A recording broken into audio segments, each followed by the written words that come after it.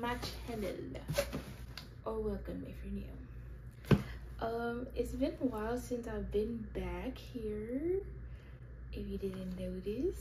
I um deleted all my videos but hopefully by now i put them all back because i was just having like a little crisis moment. Yeah because i didn't know what i wanted to do with this channel. I kind of lost my idea of like why I started it. But I started because I wanted to just vlog things that I wanted to vlog. Not there's not a niche for this channel really, but I want to have a focus on books a little bit, but also kind of just like daily vlogs. Not daily, um, but just things that I want to share, things that I want to document. Today, I'm doing a book haul. These books I ordered from um, Book Outlet. I don't remember what I have in here, so it's gonna be a surprise for me and for you. So let's get into it. I'm pretty sure a lot of these are gonna be romance though, because I was definitely in my romance era. I still am. It's so pretty. Look at the dust jacket. Honey and spice and everything nice. No, it's just called Honey and Spice.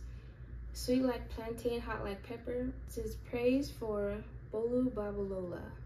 I hope I pronounced that correctly. I honestly, I don't remember what this is about. So, cover is just black, but that's okay. We'll just keep this dust jacket on then. Yeah, I don't remember what this is about, but I do remember seeing it all over BookTok. So, you know what? Most of these books I did order because I seen them on BookTok. So, let me read this summary. Sharp-tongued and secretly soft-hearted, Kiki Banjo has made a huge mistake. As an expert in relationship evasion and the host of the popular student radio show, Brown Sugar, she's made it her mission to make sure the women of the African Caribbean Society at Whitewell College in Southern England do not fall into the mess of situationships, players, and heartbreak. But when the queen of the unbothered, whoa, when the queen of the unbothered kisses Malachi Kareed, the guy she just publicly denounced as a wasteman of Whitewell. In front of every black Wellian on campus, she finds her show, her show on the brink. That's T. Their son, oh my gosh, I can't read. They're soon embroiled in a fake relationship to try and salvage their reputations and save their futures. Kiki has never surrendered her heart before, and a player like Malachi won't be the one to change that, no matter how charming he is or how electric their connection feels. But surprise, something tells me that's wrong. But surprisingly entertaining study sessions and intimate, the late night talks at old fashioned diners force Kiki to look beyond her own presumptions. Honey and Spice is full of delicious tension and romantic intrigue that will make you weak at the knees. I'm excited for this. What else do we have? Oh, yes, the blood trials.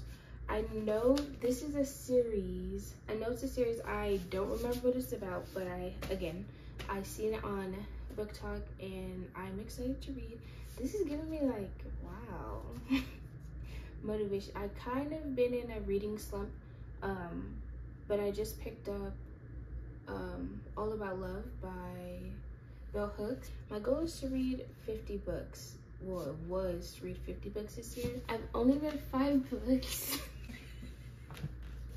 and it's July. It's July 2nd. Um, so I'm a ways away from my goal, but it's okay. It's just a goal. So if I don't make it, that's okay. If I do, that's okay too. But that's the update. I'm 5 out of 50. Well, 6 in progress, but trials. Oh, yes, look at me. It's book one. Me, if I see a good book and it's a it's in a like it's part of a series i'll just get the book like not even thinking which part it is and i have to wait till i get the other books. So i'm proud of myself because this is book one. Because i know it is i think oh it's a duology. I don't even know how many books i got. Wait. Six. Four. Yes six books to show ya. It's all about blood. The blood spilled between the Republic of Mareen and the armies of the Blood Emperor long ago. The blood gives of Mareen's deadliest enemies, the blood that runs through the elite war houses of Meereen, the rules of the tribunal dedicated to keeping the public alive, the blood of the former Legatus? Legatus? Commander? Okay. I'm new to fantasy, so the terminology and all that stuff is gonna take me a little while to get used to. The blood of the former commander, Vern Amari, murdered. For his granddaughter, Ikenna, the only thing steady in her life was a man who had saved Marie, a man who had trained her not just in martial arts, but in harnessing the blood gift that coursed through her, who trained her to keep that a secret. But now, there are too many secrets, and with her grandfather assassinated, bruh, spoiler, Kenna knows two things, that only someone on the tribunal could have ordered his death, and that only a prior, Praetorian, Praetorian, librarian, Praetorian, Praetorian, I think, and that only a Praetorian guard could have carried out that order. Kenna is willing to risk it all because she needs to find out who murdered her grandfather, and then she needs to kill them. Slay. Literally. Sounds like an exciting read. Like I said, I'm new to fantasy, so I don't know how I'll like it, but it sounds good. Plus, um, has a lot of good reviews too. Something that I do need to get into, Good Goodreads, because I know people um, go in there and rate their books and, you know, leave comments, blah, blah, blah. Um, I think it tracks your books too, like your book goals. Yeah, I should definitely get into that. And I just found my Kindle. I lost it. It's a Kindle Fire. It's like from a thousand years ago. What's the next book I should get? Next book. Ooh, what does it have a sticker on it? I think this is another collegiate um romance. Or are they teenagers? I'll read you what the back says. I think these are like um, quotes from people. This book is a celebration of black love, black teenagers, black friendship, and the black family, and I adored it from the beginning to end. Prepare to swoon. LaDelle's Love Radio gives voice to some of the sweetest hopes and the hardest truths. Readers won't be able to get enough of these dope characters. I've been waiting for an author like Ebony LaDelle. Love Radio is mega swoon-worthy. Okay, swoon-worthy. Um, effortlessly cool and full of heart. Turn this one all the way up. Again, this is from TikTok. I really don't, I wish I could tell you guys like what I knew about these books, but I forgot. Like this was from a long time ago. I'll just read you the summary.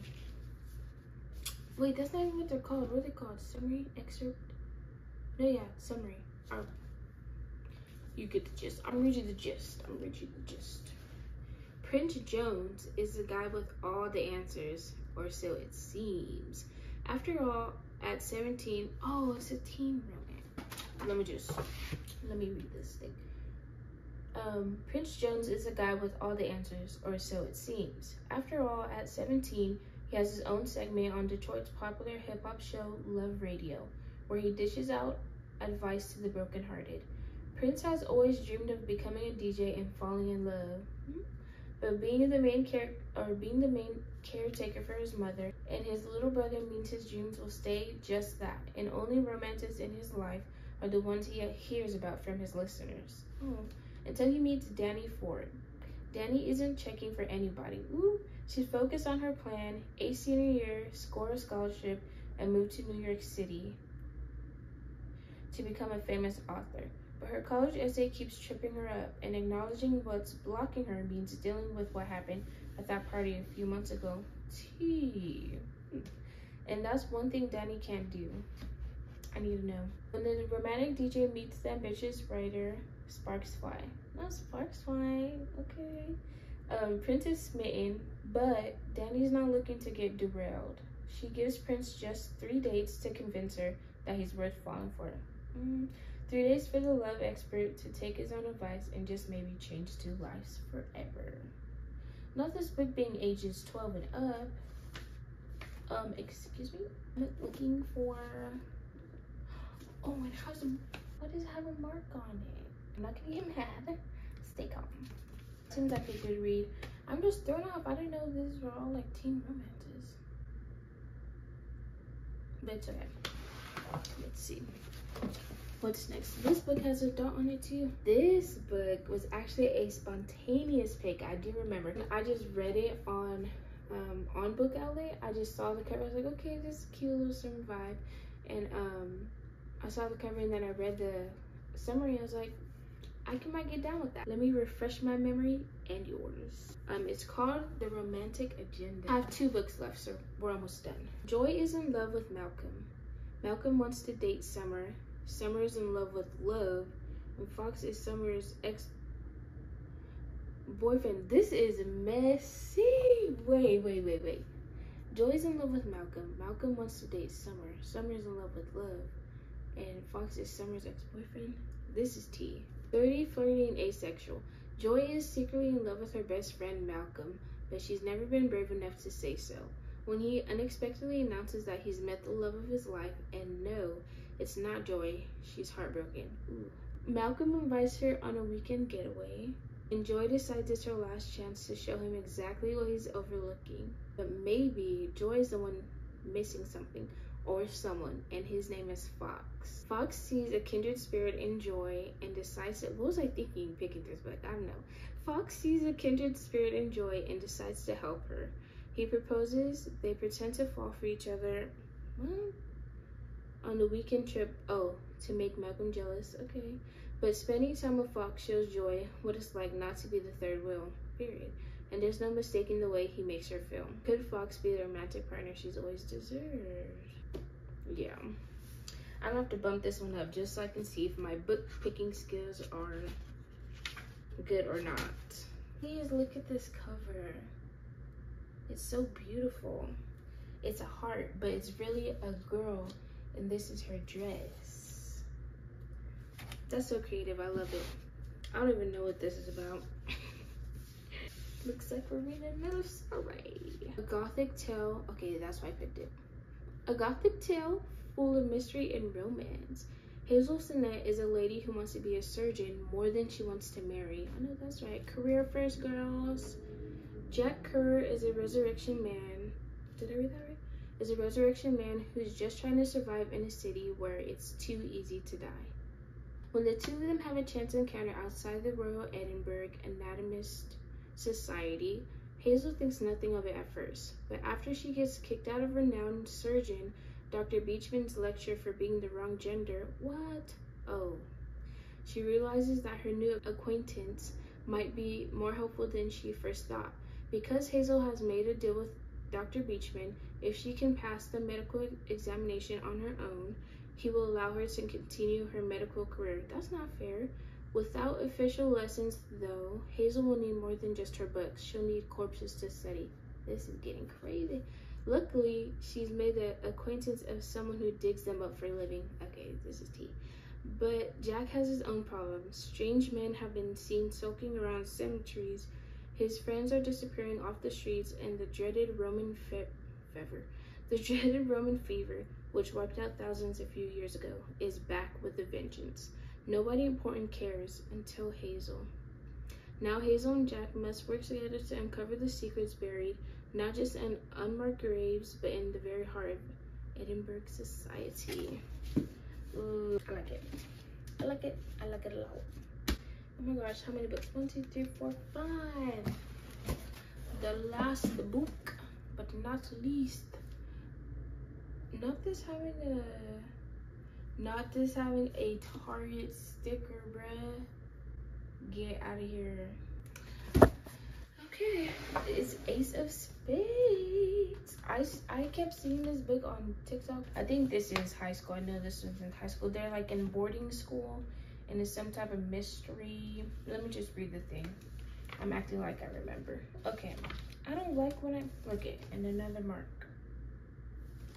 I don't like when I get books and they're already messed up. Like, leave that up to me to mess them up. All you need to know is I'm here to divide and conquer, like all great tyrants do, from ACEs. When two private academy students, Devon Richards and Chiamaka Adebayo, are selected to be part of the elite school's senior prefix, it looks like their year is off to an amazing start. After all, not only does it look great on college applications, but it officially puts them into the running for valedictorian too, period.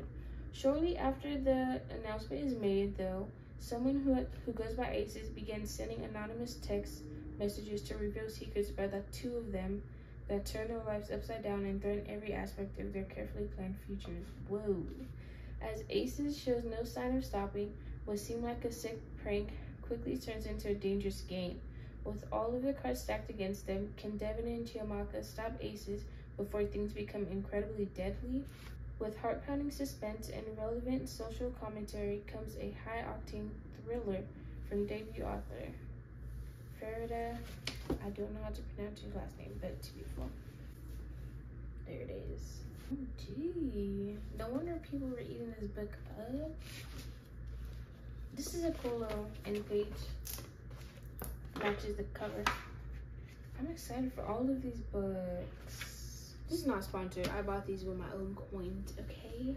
With my own doubloons. If you do want to sponsor me, let me know. Six books is the total. Six big books. These are kind of, well, it's like medium, medium-sized books. But that's it. That's the haul, y'all. Um, thank you for stopping by and watching. I hope you enjoyed. Um, maybe I'll do like a video on a review of the books later.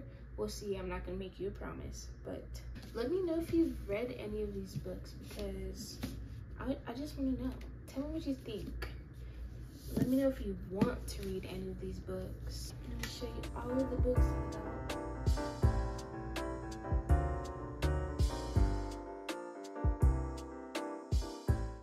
I've learned that I'm actually a person who prefers paperbacks over hardcovers. I thought I was a hardcover girl, but I don't know. Paperbacks just do it for me. It's a ton. It's a ton of books. And hopefully you see me next time. Oh, I thought I was burning my hair. Okay.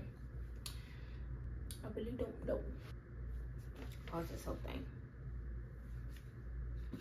I hope to see you never. Thank you for watching and